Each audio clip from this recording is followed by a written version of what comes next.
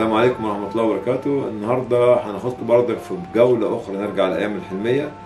آه، نتفرج أو نسمع عن الح- ال- الحرف اليدوية اللي كانت الناس بتمتهنها في الوقت ده عشان تكسب رزقها منها.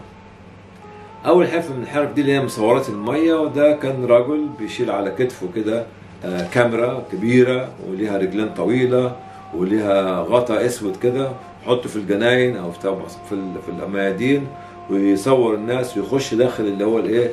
ال- الغطاء الأسود ده علشان يصورها. وكان بي طبعا بي بيطبع الصور وهو واقف قدامكم.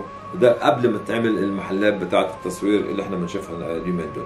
واحد تاني كان اسمه بياع الروبابيكيا أو اللي بيشتري. اللي هو بيعدي في الشوارع والحواري يقول روبابيكيا واللي عنده حاجة قديمة بنطلون قديم بدلة قديمة جزمة قديمة كرسي قديم بيبيعوا للراجل ده وفي نفس الوقت كان في حاجة اسمها سوق الكانتو. سوق الكانتو تروح فيه تلاقي كل الأشياء القديمة. كراسي وترابيزات والحاجات دي وهدوم إلى آخره. وفي كان راجل بيسن السكين. اللي بيسن السكين ده كان بيشيل على كتفه عجلة ليها رجلين. وتحت الرجلين دي في حاجة كده بيتك عليها عشان تدور العجلة. والستات من بلكونات ينزلوا السكاكين والسطور والحاجات دي كلها. وتلف العجلة. وفي حاجة كده زي حجر هو إيه بيحط عليه السكينة عشان إيه إيه تستنى.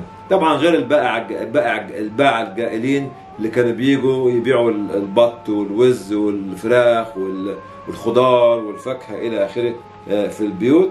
آه، في واحد بقى تاني كان الرفة. يعني إيه الرفة؟ الرفة ده لما يكون عند الناس دي هدوم قديمة زي مثلا آه، عند الركبة البنطلون با- باظ أو عند القعدة بتاعت الجسم البنطلون باظ بيوديه للرفة ده.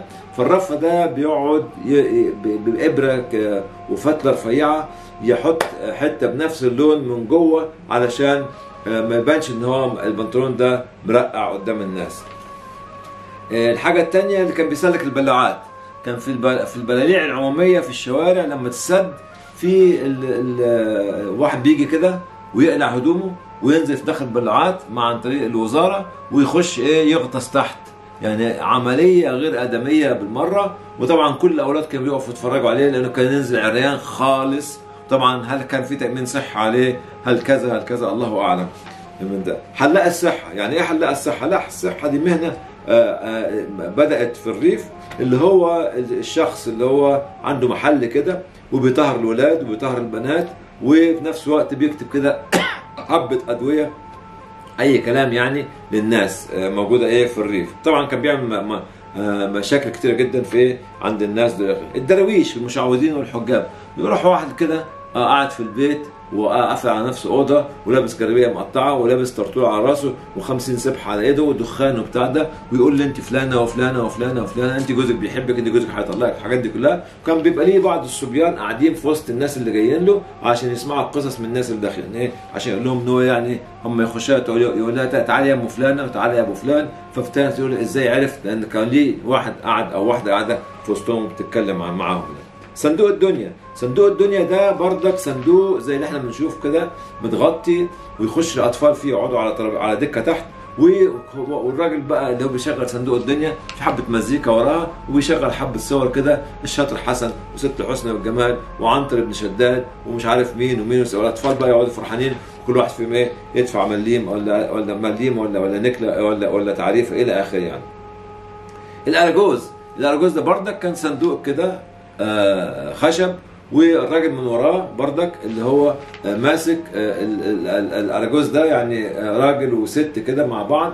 آه، وبعدين إيه هو بيتكلم بقى الراجل بيتخانق مع الست والست بتتخانق مع مع الراجل. وطبعا ده كان شائع جدا جدا في مصر في الأحياء الشعبية أو في أكتر في الريف اللي إحنا بنتكلم عنهم آه، الحاوي الحاوي ده بقى كان يجي ويعمل حركات كده زي زي السيرك. بس السيرك إيه؟ على مستوى الفرد وعلى مستوى المجموعة يقعدوا يتنططوا وينطوا في الهواء وينزلوا.